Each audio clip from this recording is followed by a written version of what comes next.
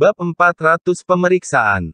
Sialan, benar-benar tidak setial, Aden Ye memarahi Gerson secara diam-diam, tapi nyatanya, dia mungkin bisa menebak pikiran Gerson di dalam hatinya, tapi bukankah dia hanya takut mengejutkan Atina Ning? Apa katamu? Atina Ning mendengar Aden Ye bergumam, tetapi dia tidak mendengarnya dengan jelas, lalu dia bertanya dengan rasa ingin tahu. Hah? Aku aku bilang ayo cepat, atau kita tidak akan bisa mengejar pesawat. Atina Ning memeriksa jam tangannya, terlihat jelas bahwa masih ada dua jam waktu yang tersisa, mana mungkin mereka bisa ketinggalan pesawat. Apalagi, jumlah penumpang penerbangan internasional jauh lebih sedikit dibandingkan penerbangan domestik, bahkan saat ini bukan hari libur tidak banyak orang yang lewat pemeriksaan ini, mereka masih ada banyak waktu. Gerson yang sudah lewat pemeriksaan, mengacungkan jempol kepada Aden Ye dari kejauhan, Aden Ye menafsirkan hal itu sebagai ejekan, benar itu adalah ejekan.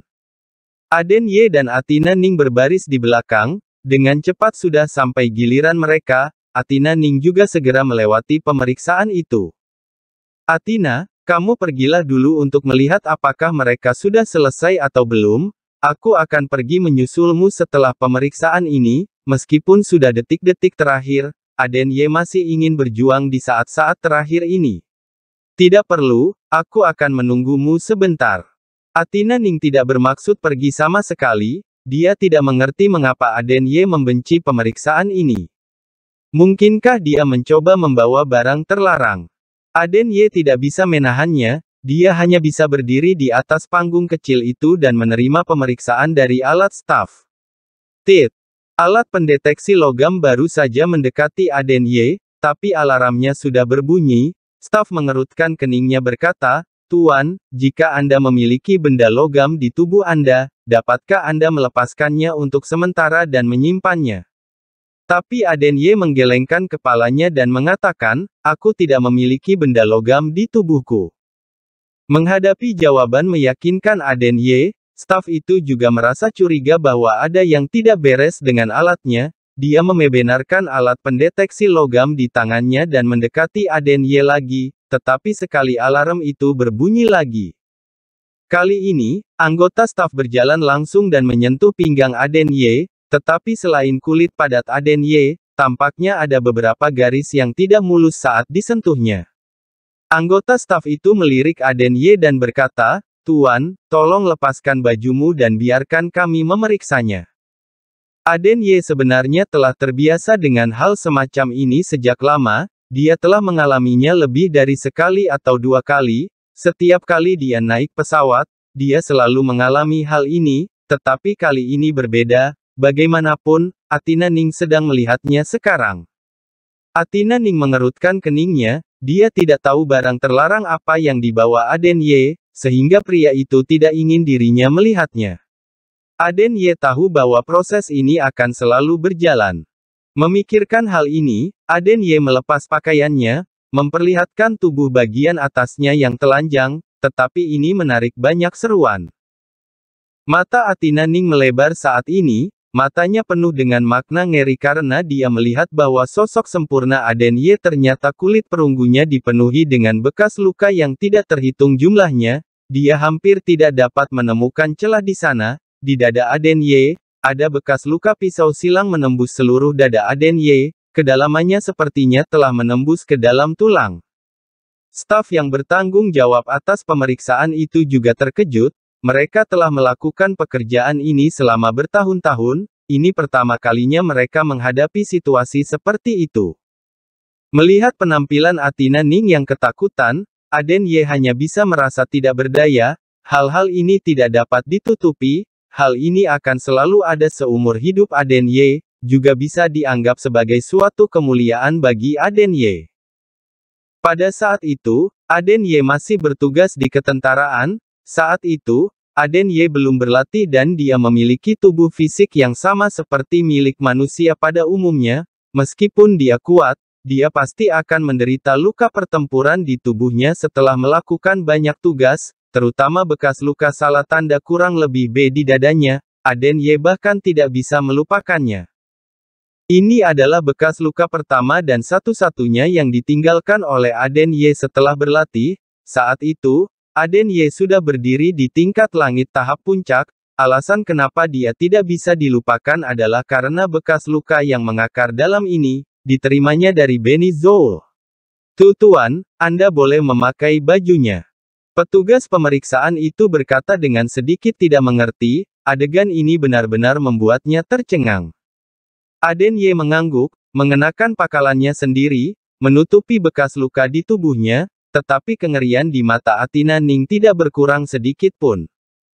Atina Ning benar-benar telah menebak bahwa Aden Ye pasti memiliki masa lalu yang tidak biasa, tetapi hanya dengan melihat bekas luka di tubuh Aden Ye, dia juga merasa bahwa dirinya tidak bisa memahami Aden Ye lebih. Atina Ning tahu bahwa di balik bekas luka Aden Ye pasti ada banyak cerita, Cerita-cerita itu adalah pengalaman masa lalu Aden Ye, tapi masa lalu macam apa yang bisa meninggalkan begitu banyak luka. Atina Ning ingin tahu apa yang dialami oleh Aden Ye dulu, tapi dia berharap Aden Ye bisa memberitahunya secara langsung. Petugas pemeriksa telah berencana untuk membiarkan Aden Ye lewat, tetapi mereka merasa ada yang tidak beres, bekas luka di tubuh Aden Ye memang menakutkan, tetapi mereka seharusnya tidak menyebabkan alat pendeteksi logam ini bereaksi. Memikirkan hal ini, pegawai pemeriksa sekali lagi memindahkan alat pendeteksi logam ke dekat Aden Ye dan tentu saja. Tit tit tit. Aden Ye tidak mengatakan apa-apa, dia mengikuti perintah mereka dengan sangat baik, karena ini sudah menjadi prosedurnya, dia tahu apa yang akan terjadi selanjutnya, tetapi dia juga tahu bahwa dalam beberapa saat, Atina Ning akan semakin terkejut. Pegawai itu merasa sedikit bingung, pada saat ini, penjaga keamanan bersenjata yang bertanggung jawab atas keamanan di bandara bergegas mendekat, mereka juga mendengar tentang masalah di sini dan berpikir mereka harus datang dan melihatnya, lagi pula, tidak mungkin bagi orang biasa bisa memiliki bekas luka seperti itu. Tuan, aku harap Anda dapat bekerja sama dengan kami. Pegawai itu selesai berbicara dan membawa alat inframerah yang lebih canggih, ini adalah alat yang hanya digunakan ketika polisi memeriksa pengedar narkoba yang menggunakan tubuh mereka untuk menyembunyikan narkoba tersebut, di depan alat ini apa pun yang tersembunyi di dalam tubuh manusia, dapat terlihat tanpa bisa ditutupi. Tentu saja aku mengikuti perintah kalian. Aden Ye merentangkan tangannya, siap menerima pemeriksaan berikutnya. Selain Atina Ning merasa ngeri, dia juga merasa sedikit bingung, Aden Ye baru saja diperiksa bertelanjang dada, tidak ada yang ditemukan, tetapi mengapa alat pendeteksi logam itu mengeluarkan suara lagi? Mungkinkah karena ada sesuatu yang tersembunyi di dalam tubuh Aden Ye? Pegawai itu mengangkat alat inframerah, melihat layar lebar di sebelahnya. Menarik napas dalam-dalam, menyapu alat itu ke tubuh Aden Ye. Brak, Detik berikutnya, alat inframerah di tangan staf jatuh ke tanah. Bab 401 Perjalanan. Plak. Seiring suara instrumen inframerah jatuh ke lantai, petugas yang bertanggung jawab mengukur itu langsung melihat ke arah layar yang ada di sampingnya dengan wajah yang terkejut. Tatapan matanya terlihat tidak mengerti. Ada apa? Petugas keamanan yang bertanggung jawab atas keamanan itu terkejut melihat hal ini, dia langsung naik ke atas, namun dengan cepat dia menunjukkan ekspresi wajah yang sama muncul di wajahnya.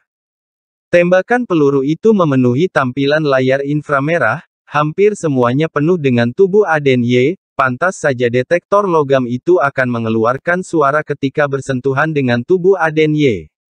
Namun petugas keamanan itu tidak mengerti, sebenarnya orang seperti apa dia ini, dan memiliki pengalaman seperti apa. Begitu banyak pecahan peluru yang tersisa pada tubuhnya. Atina Ning melihat keadaan ini juga langsung naik ke atas, tanpa ragu lagi wajahnya terlihat sangat terkejut tidak kurang dari dua orang sebelumnya, dia melihat ke arah Aden Ye. Sekarang dia akhirnya mengerti mengapa Aden Ye ingin melakukan pemeriksaan terpisah dengannya. Dia sudah hidup selama ini dengan Aden Ye, namun ternyata dia tidak mengetahui kalau tubuh Aden Ye ternyata memiliki hal yang menyeramkan seperti ini. Maaf, apa aku boleh pergi? Aden Ye berkata dengan pasrah, Setiap kali selalu seperti ini, pemeriksaan yang dia lakukan selalu lebih merepotkan dari orang lain, tapi untungnya meskipun pecahan tembakan ini membuat orang terkejut, tapi juga tidak dikatakan kalau orang yang memiliki pecahan peluru pada tubuhnya tidak bisa naik pesawat. Bo boleh. Petugas keamanan dan pemeriksaan itu berkata secara bersamaan, tapi mereka menjawabnya dengan gagap, mereka merasa ini adalah pengalaman yang paling sulit dilupakan olehnya dalam karir mereka. Aden Ye mengambil tasnya sendiri, berkata kepada Atina Ning yang terlihat seperti tidak ada apa-apa, ayo jalan. Ah iya Al. Atina Ning menjawabnya dengan linglung, lalu mengambil koper ikut berjalan dengan Aden Ye, mereka meninggalkan tempat pemeriksaan dengan tatapan mata terkejut dari petugas tersebut. Aden Ye merasa dirinya harus mengatakan sesuatu untuk meredakan suasana yang canggung ini, Atina, tadi tidak mengejutkanmu bukan? Atina Ning masih menggelengkan kepala dengan linglung, hingga saat ini dia masih tidak bisa menerima apa yang dia lihat tadi, sekarang Aden Ye di matanya tidak hanya misterius saja, tapi juga sangat menakutkan. Ketika sampai ke ruang tunggu, Aden Ye melihat Gerson dan Louis yang sudah lama berhasil melewati pemeriksaan, dia melirik Gerson sekilas, namun Gerson malah diam-diam menertawakannya di sana, dia melakukan ini juga demi kebaikan Aden ya, jika nanti ke depannya hal ini diketahui, bukankah akan lebih canggung? Namun yang tidak diketahui oleh Gerson adalah Aden Ye biasanya tidak pernah melepaskan pakaian bagian atasnya, sama seperti Vivi Luo yang tidak mengetahui hal ini hingga sekarang. Apa yang kamu tertawakan? Nanti segera cari cara untuk melepaskan luka pisau ini. Aden Ye berkata dengan suara kecil, Sebenarnya tidak hanya dia, tubuh seorang pembunuh paling tidak juga memiliki bekas luka tusukan, Aden Ye dulu tidak menganggap serius masalah ini, tapi teringat dengan pacarnya, membuat Aden Ye merasa dihilangkan akan lebih baik. Ketika di Eropa bukankah aku ingin membantumu, tapi kamu sendiri yang tidak mau bukan? Baru pertama kali Gerson melihat Aden Ye yang sangat memperhatikan bekas luka pada tubuhnya ini, dia bisa melihat kalau Aden Ye sangat peduli dengan Atina Ning. Aku sekarang ingin melakukannya, setelah ini segera bantu aku, dengar tidak? Aden Ye menatap tajam Gerson sekilas, dia merasa anak ini awalnya adalah orang yang cukup serius, kenapa sekarang dia cukup mirip dengan Xavier Zeng? Iya iya iya, tapi pecahan peluru dalam tubuhmu aku tidak bisa melakukannya, hal itu sudah menjadi bagian dalam tubuhmu. Gerson berkata, Aku tahu ini. Penerbangan JERSON berbeda dengan Aden Ye, dengan cepat dia sudah harus masuk ke dalam pesawat, Gerson membawa Louis pergi bersama dengannya, meninggalkan Aden Ye dan Atina Ning berdua saja. Atina, kamu jangan melihatku seperti ini. Aden Ye merasa sedikit kesal dilihat oleh Atina Ning dengan tatapan mata yang aneh, jika dari awal tahu akan seperti ini, dia lebih baik menyuruh Gerson untuk menghilangkan bekas luka pada tubuhnya, sayangnya sebelum ini Aden Ye tidak memikirkan hal ini. Aden Ye, sebenarnya kamu ini orang seperti apa? Atina Ning menatap tajam Aden Ye, dia sadar-sadar semakin lama dia hidup bersama dengan Aden Ye, dia merasa semakin tidak mengerti Aden Ye, hingga saat ini dia sama sekali tidak mengetahui tentang masa lalu Aden Ye. Aden Ye tahu kalau Atina Ning sangat ingin mengetahui masa lalu dirinya, tapi dia juga tidak bisa memberitahu masa lalunya kepada Atina Ning, lalu berkata, Atina, aku dulu berada di luar negeri dan menjadi seorang prajurit, pada saat itu aku sering bertemu dengan pisau dan senjata sehingga tubuhku memiliki banyak bekas luka seperti ini, alasan aku tidak memberitahumu karena aku merasa kamu tidak perlu mengetahuinya, karena hari ini kamu sudah melihatnya, maka aku akan beritahu kamu. Aden Ye merasa dia boleh memberitahu Sepgayan kecil masa lalunya kepada Atina Ning, agar Atina Ning tidak terlalu curiga, dia sekarang dengan Atne Ning sudah tidak memiliki kontrak apa pun, jadi sudah seharusnya dia sedikit jujur kepadanya. Prajurit. Atina Ning tidak berani mempercayainya, teringat dengan banyak hal yang dia lakukan bersama dengan Aden Ye, membuat Atina Ning tidak bisa terpikirkan kalau Aden Ye adalah seorang prajurit. Tapi setelah dipikirkan lagi hal ini bukannya tidak mungkin, bagaimanapun pada awalnya ketika dia ingin menyelidiki masa lalu Aden Ye, namun dia tidak menemukan hasil apa pun, hanya seorang prajuritlah yang memiliki masa lalu yang sangat tertutup seperti ini. Sudahlah, tidak usah berbicara dulu, beberapa masalah ini nanti aku pelan-pelan bicarakan kepadamu. Aden Ye merasa lebih baik dia tidak usah menjelaskan masalah ini lebih baik, beritahu sebagian besar masalah ini kepada Atina Ning lebih baik. Kebetulan sudah waktunya untuk masuk ke pesawat, jadi Atina Ning juga tidak lanjut bertanya kepadanya, juga karena Aden Ye sudah memberikan penjelaskan kepadanya, bisa dibilang adalah masa lalunya, jadi Atina Ning memilih untuk percaya. Ketika naik ke atas pesawat, Aden Ye menarik nafas dalam, sudah empat tahun, sudah hampir empat tahun, sekarang jika ingin kembali meskipun buka untuk balas dendam, namun suasana hati Aden Ye juga sulit untuk tenang. Kamu kenapa? Atina Ning merasa Aden Ye sedikit tegang, dia kira Aden Ye mabuk pesawat, tapi jika dipikirkan seharusnya tidak mungkin seperti ini. Bukankah ini pertama kalinya bagiku bisa naik pesawat dengan wanita cantik sepertimu? Tentu saja aku merasa sedikit tegang. Aden Ye bercanda, dia ingin menggunakan ini untuk meredakan suasana hatinya yang tegang, tapi sepertinya tidak ada gunanya sama sekali. Atina Ning tidak menghiraukan Aden Ye, dia bisa percaya kata-kata sebelumnya, tapi sekarang kata-kata gombalan dari Aden Ye dia sedikit pun tidak percaya. Duduk di pesawat kelas 1 yang dekat jendela, Aden Ye melihat ke arah langit yang kabur di luar jendela, hatinya merasa senang, paling tidak saat pertama kali kembali ke China, Aden Ye tidak pernah menyangka dia bisa kembali ke sana lagi. Bab 402 gambaran yang tiba-tiba datang. Aden Ye mengeluarkan kalung lionting perak yang ada di dadanya, di atasnya terdapat beberapa tulisan yang membuat orang tidak mengerti oleh orang, ini adalah pembuktian Dewa Aden Ye. Aden Ye terus membawanya bukan untuk mengingat untuk masa kejayaannya di masa lalu.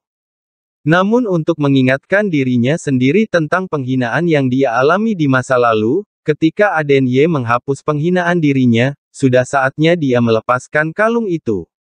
Aden Ye tahu hari ini mungkin sudah tidak jauh lagi. Sebenarnya kalung apa itu? Apa aku boleh melihatnya? Atina Ning bertanya, dia tahu Aden Ye terus membawa kalung ini, dulu meskipun dia penasaran, tapi dia tidak enak untuk bertanya namun sekarang hubungan dia dan Aden Ye sudah sangat dekat, Atina Ning pun tidak tahan untuk menanyakannya. Aden Ye merasa ragu, lalu dia melepaskan kalung itu dan diberikan kepada Atina Ning. Ketika Atina Ning menerima kalung itu, Tangannya sedikit bergetar, dia tidak menyangka kalung yang kecil seperti ini ternyata sangatlah berat.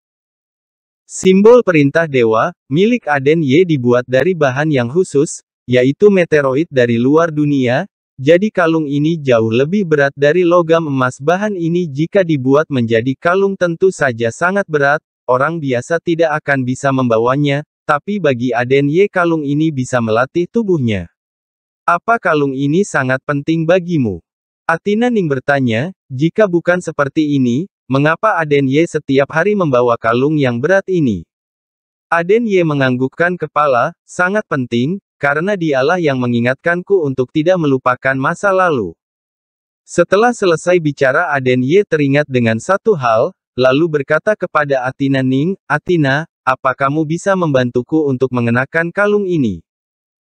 Aden Ye ingat ketika dia baru saja mengalahkan dewa waktu itu dan menggantikan posisinya, lalu mendapatkan simbol perintah dewa ini. Carol Lanlah yang membantu dirinya mengenakan simbol perintah dewa ini yang merupakan sebuah kemuliaan tertinggi. Hari ini Aden Ye ingin menyuruh Atina Ning membantu dirinya mengenakan kalung ini, untuk mengingat perasaan yang sulit dilupakannya waktu itu. Oh, baiklah. Atina Ning tidak merasa tuntutan yang diminta oleh Aden Ye itu berlebihan. Tapi dia tidak mengerti, mengapa ketika Aden Ye mengatakan hal ini, nada bicaranya terdengar aneh, seolah-olah memiliki rasa sakit. Aden Ye sedikit menundukkan kepalanya, Atina Ning memasangkan kalung ini di leher Aden Ye, namun ketika dia memasangkannya, kepala Atina Ning seperti tersengat listrik. Lalu setelah itu sebuah gambaran yang kabur muncul di bayangan Atina. Ning. Itu adalah gambaran yang tidak jelas, namun dia masih bisa melihat ada dua orang yang berdiri di sana, satu pria dan satu wanita, namun dia tidak bisa melihat jelas wajah orang itu, dia hanya bisa mendengar mereka bicara. Selamat ya. Tapi kamu jangan mengira setelah menjadi seorang dewa membuat aku tidak berani memukulmu, suara wanita itu sangatlah jelas dan tajam, bahkan Atina Ning sangat tidak sabar untuk melihat wajah anak perempuan itu, tapi dia tidak melihatnya dengan jelas. Cih, itu karena aku tidak membalasmu, tahu tidak? Ketika Atina Ning mendengar suara anak laki-laki ini dia merasa sangat familiar dengan suara ini. Kamu masih berani membalas. Tidak berani tidak berani aku sangat takut dengan istriku, mana mungkin aku berani. Siapa isertimu? Wuh, kamu masih tidak mengakuinya, mengaku tidak. Mau mengaku atau tidak? Setelah itu terdengar suara Candaria. Saat ini gambaran yang ada di benak Atina Ning seketika terhenti dan kembali ke kenyataan lagi. Atina, kamu kenapa? Aden Ye merasa sedikit aneh, Seolah-olah gambaran waktu itu muncul di bayangan Atina Ning. Tidak-tidak apa-apal. Atina Ning terlihat sedikit linglung, namun ketika dia melihat Aden Ye dia tiap-tiba merasa suara anak laki-laki yang muncul di bayangan yang kabur itu sangat mirip dengan Aden Ye, namun suaranya terdengar lebih muda. Mungkin itu hanya ilusi aku saja Atina Ning memijat kepalanya, menyadari kalau kepalanya terasa sedikit sakit, Selama dia teringat dengan gambaran tadi, kepalanya terasa sangat sakit. Aden Ye aku merasa sangat lelah, aku ingin tidur sejenak. Suara Atina Ning terdengar sedikit lelah. Oh baiklah. Aden Ye menurunkan meja yang ada di depan Atina Ning, lalu menaruh bantal khusus penumpang kelas satu di atasnya, agar Atina Ning bisa tidur lebih nyenyak. Namun Atina Ning langsung menghalangi Aden Ye, tidak usah, Aku ingin tidur dengan bersandar pada tubuhmu, boleh tidak? Atina Ning juga tidak tahu mengapa setelah gambaran tadi muncul di pikirannya, hatinya merasa khawatir, takut Aden Ye akan meninggalkannya, meskipun dia sendiri juga tidak tahu, tapi rasa khawatir ini tidak tahu menuci dari mana. Aden Ye tercengang dengan keinginan dari Atina Ning, Aden Ye tentu saja sangat senang dengan tuntutannya, Selain itu dalam keadaan seperti ini seharusnya tidak ada pria yang akan menolaknya bukan?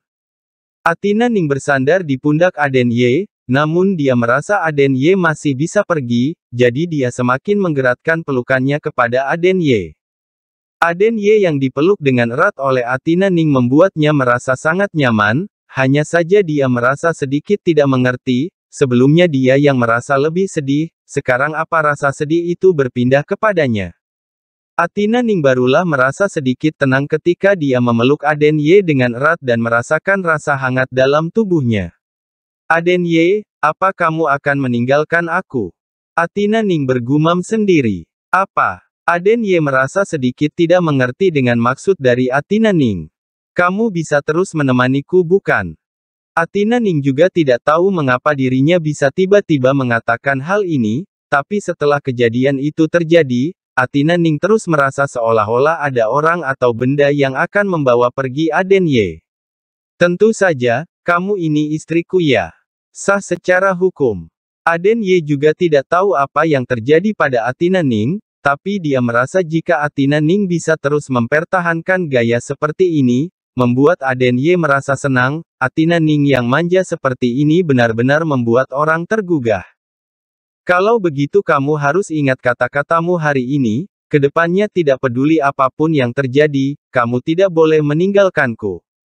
Tentu saja, setelah kejadian malam itu aku sudah membuat keputusan kalau seumur hidupku akan terus bersama denganmu.